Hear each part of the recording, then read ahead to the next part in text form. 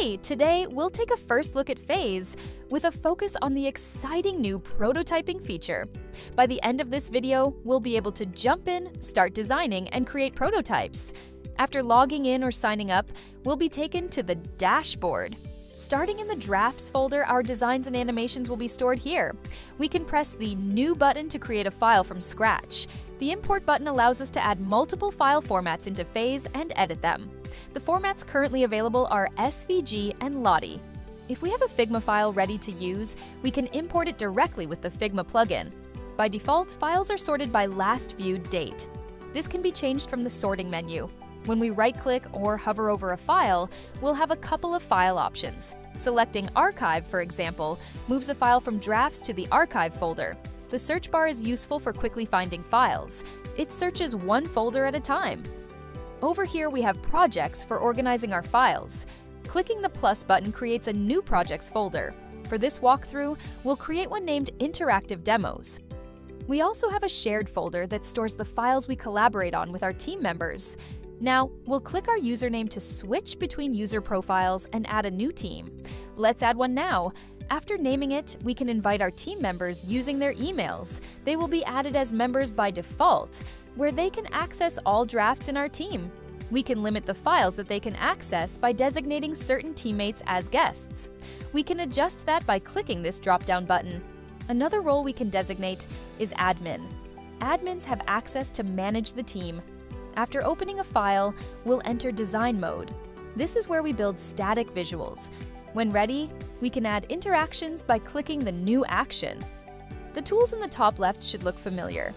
It's the essentials like Select, Shape, the Pen tool for paths, and the Hand tool. The Select and Hand tools are there to help you navigate around the interface. Whenever we select at least one element, the Mask tool will appear above the canvas. If we select two or more elements, the Boolean tool will appear alongside the mask icon.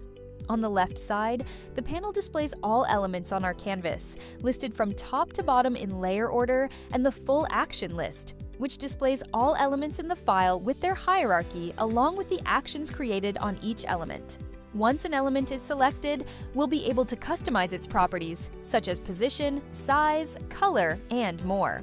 Now, let's dive into the exciting new prototyping feature, which allows us to create interactive elements that respond to user actions. Let's create a simple interaction when a user hovers over it. With our element selected, we'll click the New Action floating button. This creates an action and opens the Trigger Settings panel. The action bar appears, allowing us to manage our timeline. The action bar gives us control over our actions, we can rename or delete the action and play or loop the current animation. By default, our action is set to trigger on click of the selected element. Let's change this to hover by clicking on the event dropdown in the Trigger Settings panel. Now, we need to define what happens when the user hovers over our button. Let's change the color in the Properties panel. Notice how Phase automatically creates keyframes at the 0.3 second mark.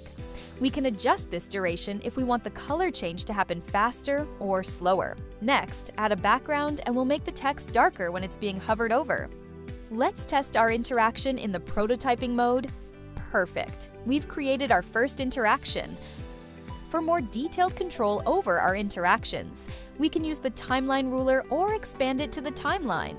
Let's expand it by clicking the toggle. With the timeline open, we can fine-tune our keyframes, adjusting exactly when and how elements change during an interaction, and add easing. This gives us precise control over every aspect of our interactions and animations. Awesome! Now we know our way around Phase and how to use the powerful new Interactions feature to create engaging interactive designs. To learn more, check out our other videos for deep dives into specific tools and features. Thanks for watching!